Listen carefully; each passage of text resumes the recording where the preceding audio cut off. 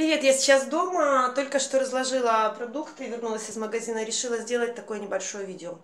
А, за все это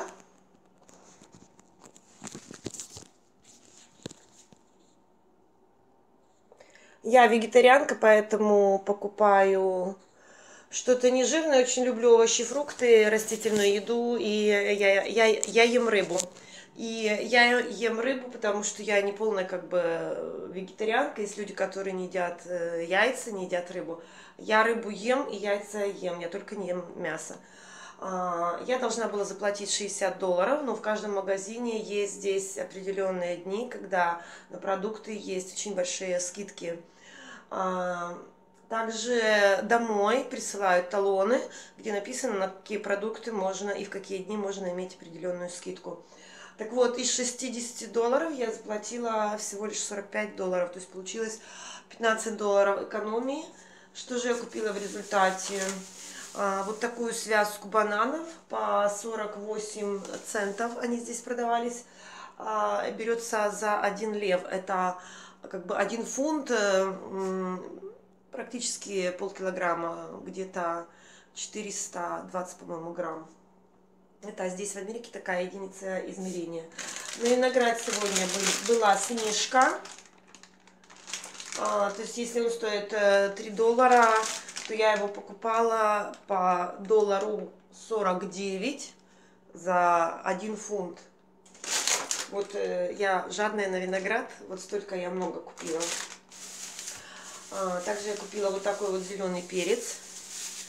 Он всего лишь 69 э, центов. За это все я говорю за полкилограмма. То есть 420, сколько там фунт. Нужно посмотреть, все время забываю, потому что еще не привыкла. Это очень классные яблоки. Я сейчас я их покажу. Тоже э, э, их цена где-то доллар, ну, доллар 50, наверное, вот красные яблоки, а, груши огромные, такие вот красивые грушки. Я решила купить чипсы первый раз, потому что у меня остались такие пасты, знаете, а, ну, такие специально для чипсов. Это апельсины, я их уже не буду показывать. Это миндаль, э, он по 5 долларов такая коробочка. Это черный хлеб фирменный кусочками. Там, по-моему, семена льна. Вот, и я решила купить э, банку кофе. Написано стопроцентный колумбийский кофе. Это очень большая банка. Здесь 700 э, грамм. Ну, не очень большая, ну, как бы, не маленькая. А, по 5 долларов. Обычно я покупала другой кофе по 10 долларов. Ну, решила это попробовать. Это корм рыбкам. У меня там живет золотая рыбка. Ну, и это очень вкусный соус, э, специальный рецепт под креветки. У меня еще там остались креветки. Он всего лишь за 1 доллар. Ну, вот такая вот маленькая экскурсия по моей кухне. У меня тут небольшой бардак, потому что были дела. Сегодня я училась водить машину. Сейчас возьму за уборку. Это моя кухня.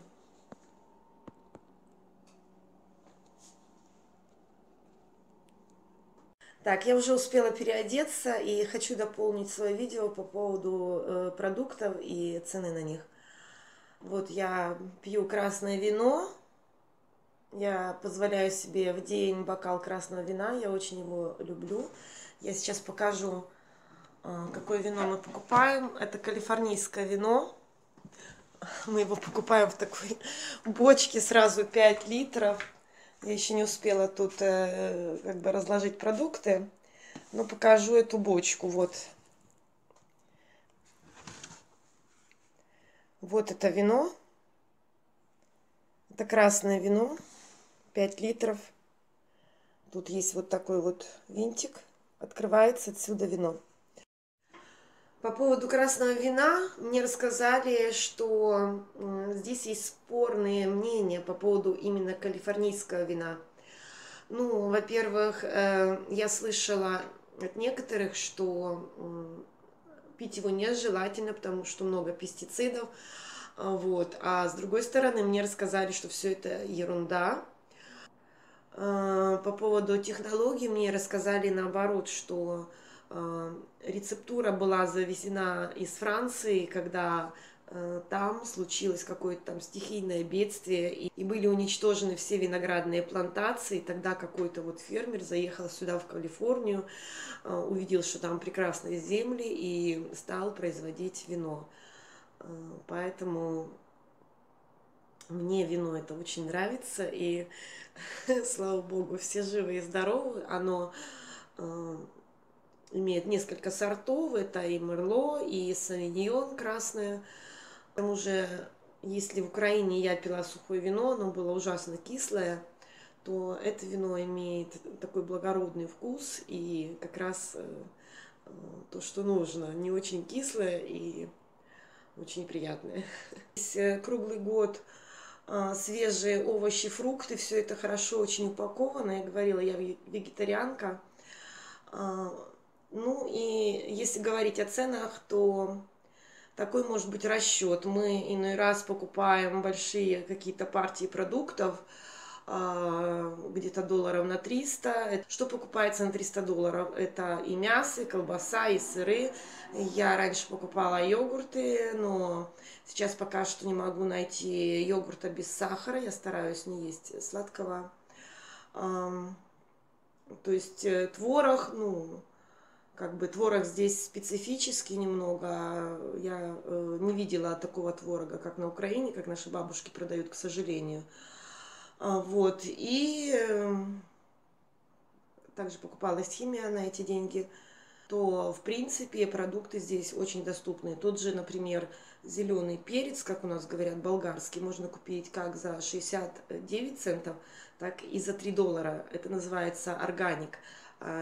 А, органическая продукция, то есть натуральная, без добавления химии, как правило, стоит дороже. Но сейчас идут очень большие споры по поводу того, а, действительно ли есть смысл покупать продукты, которые стоят дороже. Потому что иной раз органик просто используют как э, рекламный какой-то трюк.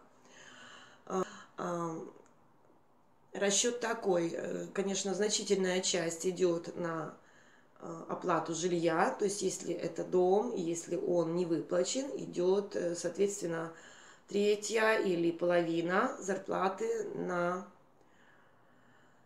оплату дома, на оплату жилья. Опять же, зависит, где ты живешь, либо ты живешь в большом городе, там, естественно, цены выше на жилье, если это аренда – то аренда может быть иной раз выше, чем выплата э, банку той части, которую ты оплачиваешь за дом, то есть части кредита. Если есть кредит за машину, то часть денег идет опять же на оплату этого кредита.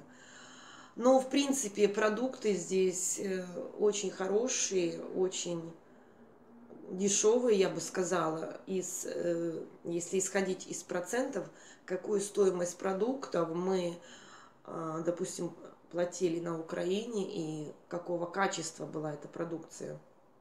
Я с ужасом сейчас вспоминаю, как я, э, допустим, ковырялась в этой ужасной грязной, гнилой и мелкой картошке а, иной раз, или выбирала тот же бурячок в земле, в грязи.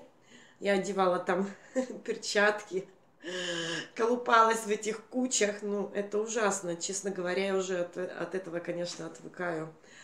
А, опять же, у нас была собака, вернее, она есть, она, она сейчас с моими дочками в Польше, но э, мы покупали еду для собаки, она аллергетик, приходилось покупать ей курицу.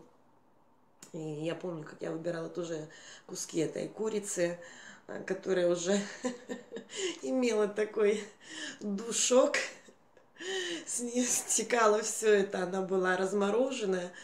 Вот, и я это все в перчатках напихивала в кульки. Э, здесь я себе могу позволить, я люблю рыбу, могу позволить себе красную рыбу. На Украине я не ела креветки. Опять же, авокадо для меня казалось роскошью, потому что мне нужно было обеспечивать э, дом и быт э, как бы трем моим детям. А, сын последнее время жил отдельно уже, правда, но в любом случае моя младшая дочь училась в институте на платном отделении. Я должна была 10 раз подумать, э, какой мне продукт купить. И купить ли вообще. Или обойтись салатиком с бурячком, или себе позволить еще что-то. То есть здесь, слава богу, такой проблемы нет. Вот. И что еще сказать? Америка замечательная страна я влюбляюсь в нее все больше и больше. Дай Бог, чтобы у меня хватило силы, здоровья учить язык и понять как бы правила жизни в этой стране. Еще я хочу сказать, наверное, напоследок, что я замечаю, насколько я стала здесь лучше.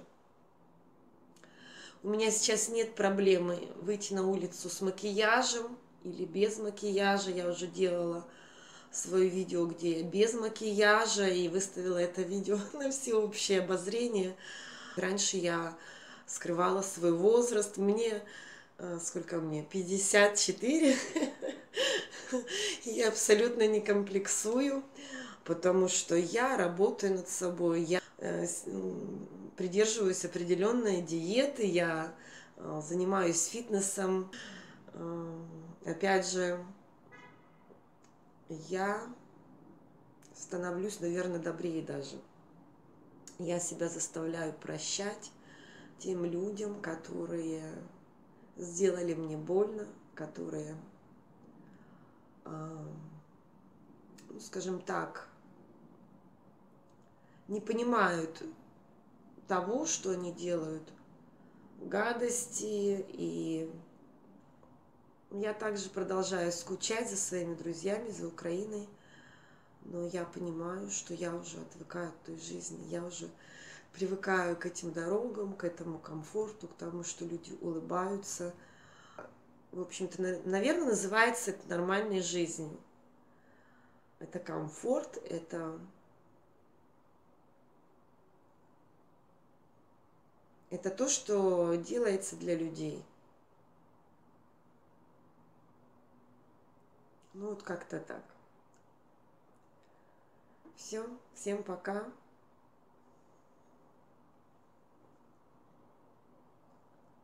Пусть все будет хорошо у всех.